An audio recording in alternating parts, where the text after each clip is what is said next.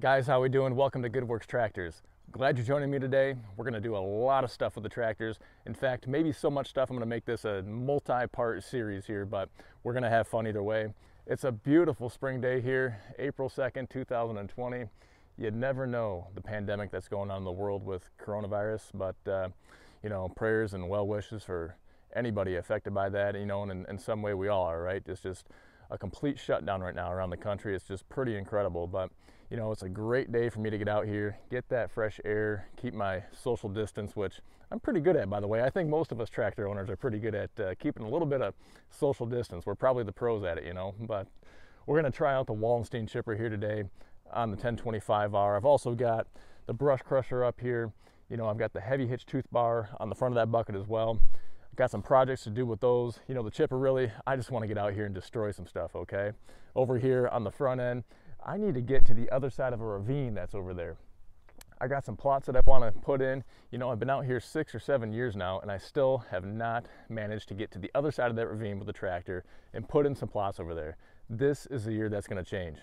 You know, and then on the 4066R cab tractor, got the land leveler, the land plane on there. Over on the other side of the hunting lease, you know, there's just some really rutted up areas and access road that comes in that the farmers use for the fields, you know, planting and harvesting, all that kind of thing. And we're gonna see. I don't know if it's dry enough over there really, but we're gonna give it a shot since we have it out here, see how the land leveler, the land plane works, and if we can regrade that surface there at least somewhat, and uh, we'll see how it goes.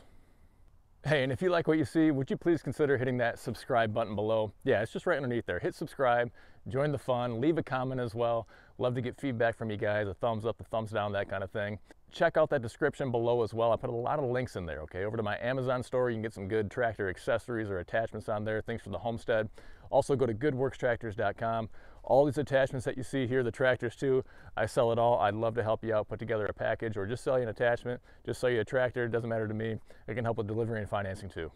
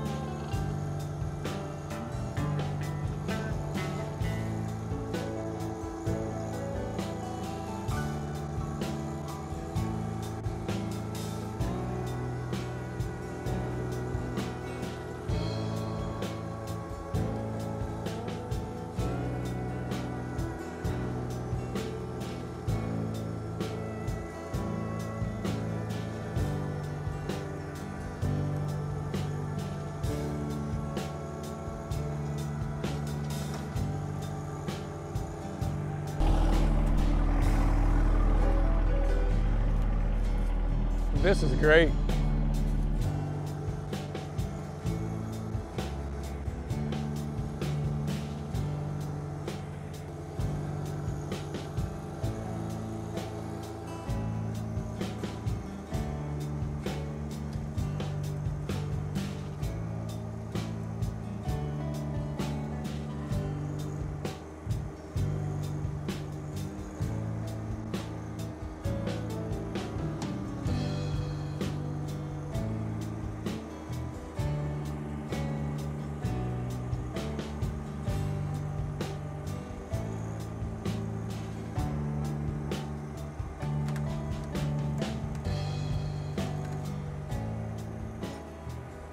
You know, instead of risking damaging my tractor with this stupid tree falling, I'm gonna give old Chippy here his first meal. I'm gonna cut it up.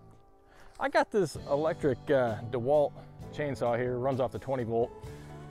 Last fall, I haven't had a chance to use it yet, to be honest with you. Just uh, had some projects and you know how time goes by. Anyway, putting it to use today, we're gonna try it out and see how it works. Let me know if you guys have used these in the past. Curious to see what you think.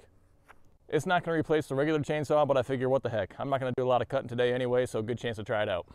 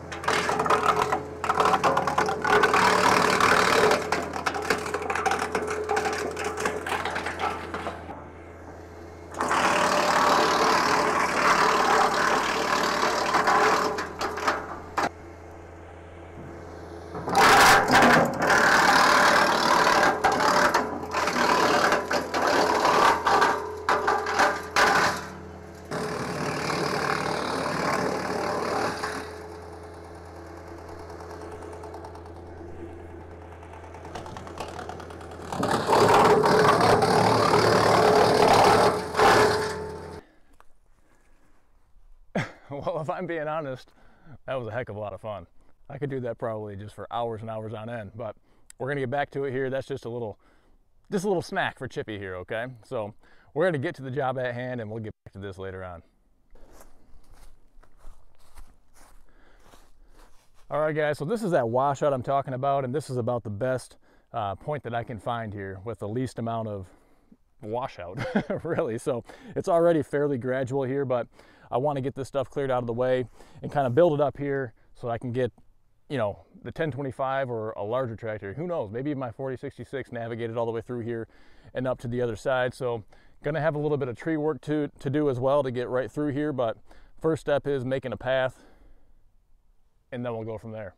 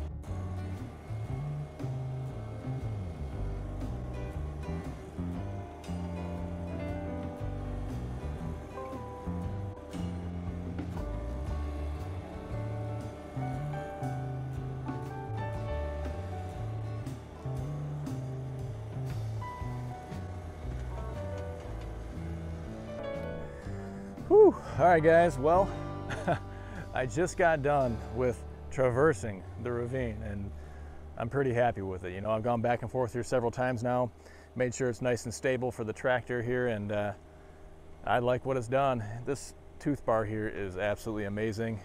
You know, as you'll see here, as, as I'm going through this, there is just an absolute ton of rock in here. And so um, this property here that I lease out was actually destined to be a rock quarry at one point. And, um, you know, so when I put in the food plots and all that kind of thing as well, you're just constantly turning up rocks and stone all the time when you're tilling. Um, even if you're out brush hogging, you still, there's boulders all over and, you know, boulders and rocks all through this right here. And that tooth bar just does a great job just kind of picking them and then you can kind of slide them or roll them or scoop them and push them wherever you want. So really did a great job there, but I tell you, it was a bit of a nightmare getting back in through here. Took a lot longer than I thought it was going to, just trying to navigate through all the fallen timber. You know, I still have at least twice as far to go to get back to where I want to put this food plot. And it's an old logging trail from years ago that's overgrown. I need to get in there first and uh, brush hog it, and then I can get in there and, and till it and plant after that. So I've got time. This is the biggest step right here was, was getting this far. I think I can probably navigate that other timber there fairly quick. Um, building this up right here, making it traversable, you know, cutting down the trees that were right here, right in the way to a low enough height to be able to get through here was a big deal. Tooth Bar did an awesome job. Brush Crusher did a great job, you know, getting all the way down here, being able to pick, and you can almost just slide that thing along the ground as well and just kind of, you're just scooping it and raking it and pushing it where you want, or you can clamp down on it and pick it up and move it around. You know, I gave uh, Chippy here his first meal as well on a couple stubborn trees that were in the way, didn't want to move out, so hey, I said sayonara to those guys and took out some frustration.